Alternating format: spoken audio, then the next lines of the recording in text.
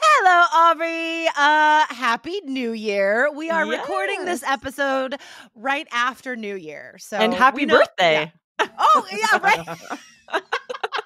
I forgot I need to talk about that on every episode. now. Absolutely. If you guys are keeping track, if you've heard the last few episodes, we're keeping account of how many times we mentioned Jessica's birthday. We're going for a record this year.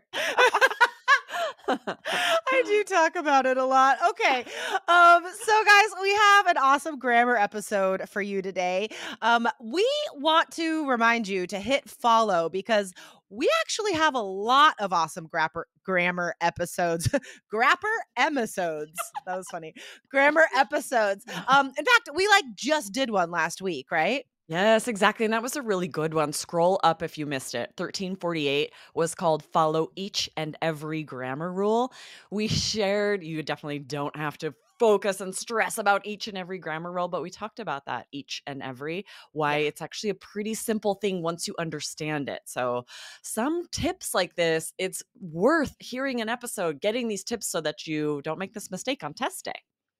Imagine if you eliminate even three grammar mistakes from your writing or speaking. That is a difference in a band point, you know? Yes. I mean, it could be. So Mhm. definitely catch up on our grammar episodes, guys. Hit follow so you don't miss any more. Um, today's grammar episode was inspired by a question from a student.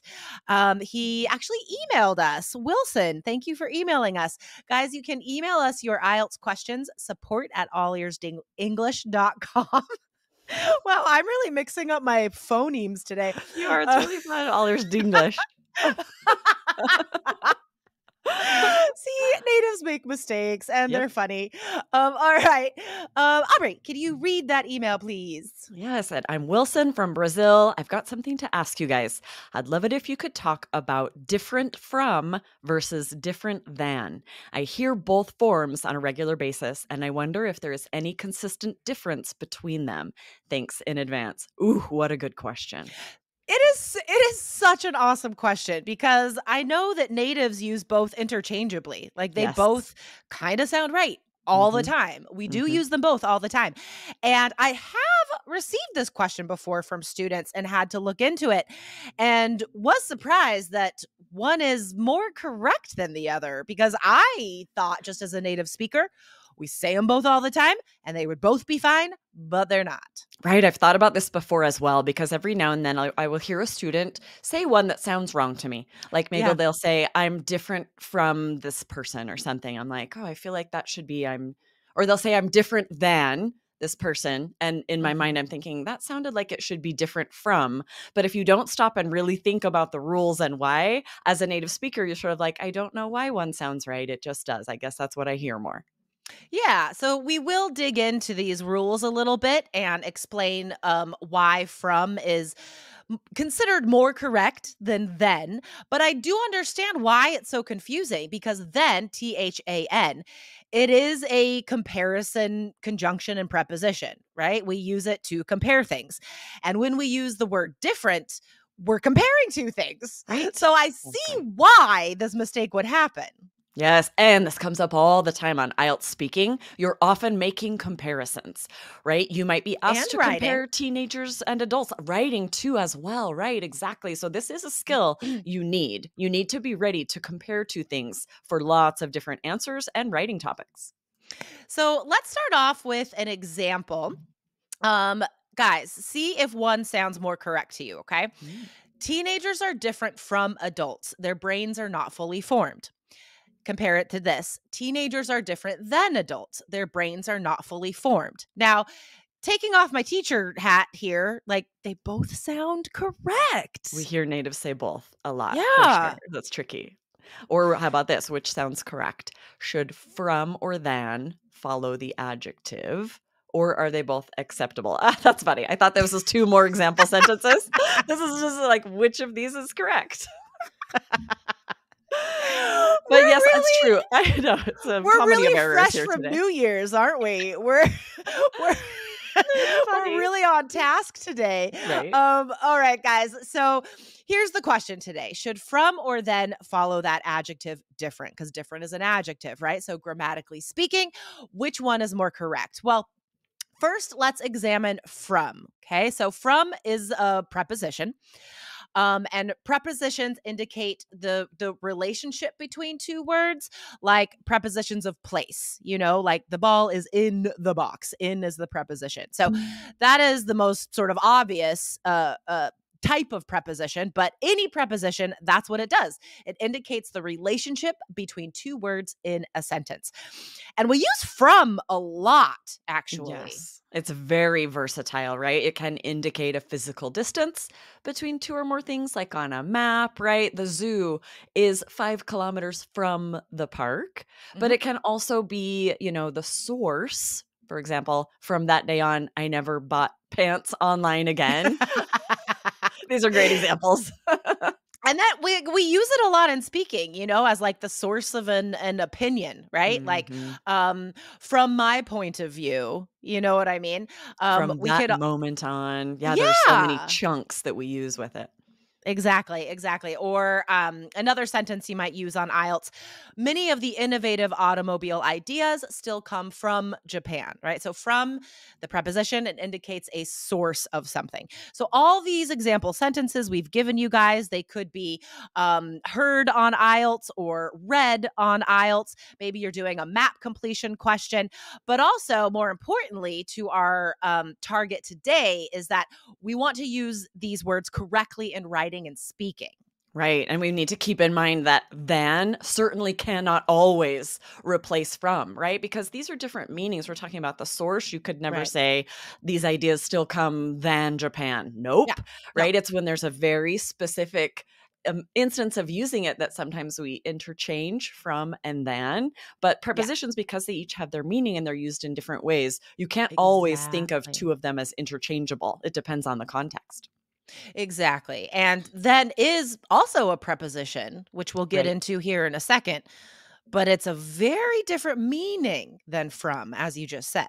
All right. So we said that um, then is also a preposition, and it is, but it's only in these comparisons, right? T H A N. We always use it in comparisons. So as a preposition, we could say, like, if you're asked about your job and speaking part one, my job is harder than most jobs. So I'm comparing my job to all other jobs, right? So there it is a preposition. I'm indicating the relationship between two ideas, my job and mm. all the other jobs. Right. But there again, like you couldn't put from there.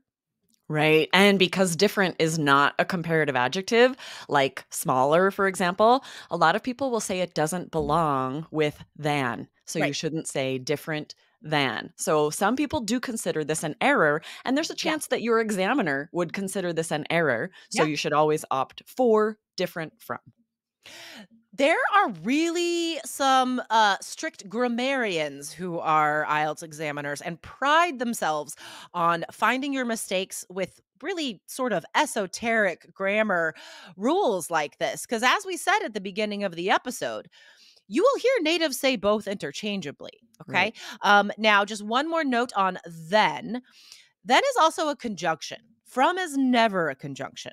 All right. So then indicates the relationship between two things, like we just said as the preposition.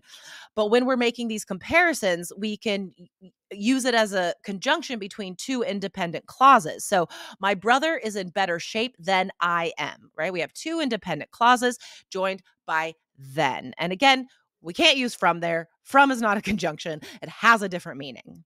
Yes, exactly. And one quick note on spelling the mistake that both native speakers and language learners make is to often mix up then and than, right? One means is like time order. This happened, then that happened. This is such a common error, right? That's T H E N. The one we're talking about today is T H A N. So if you've Mhm. never thought about that, there's a good chance that you're mixing them up and you need to pay attention to that as well.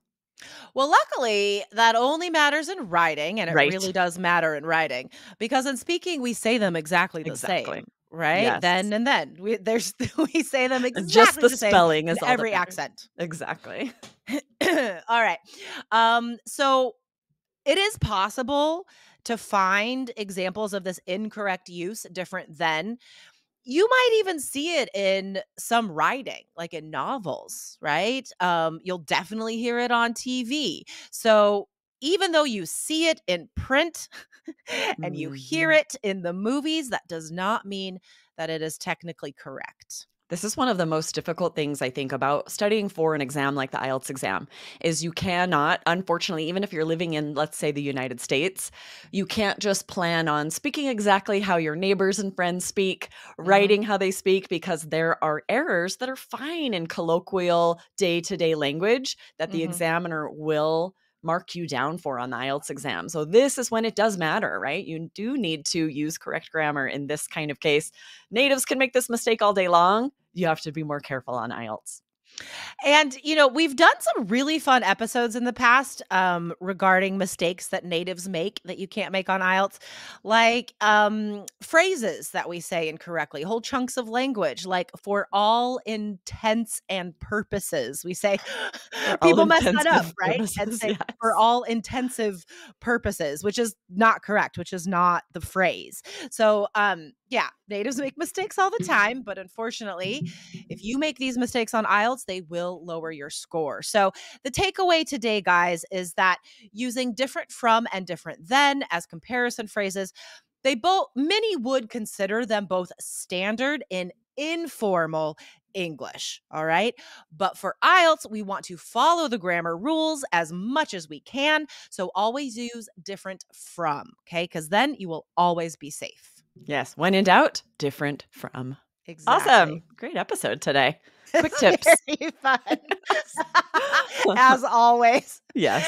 Oh, I love that part of our takeaway is that natives make mistakes all the time because you and I were just fumbling our words at the beginning. Right? Okay, maybe We are the mostly me, poster child. We are the poster children of making mistakes sometimes. It happens.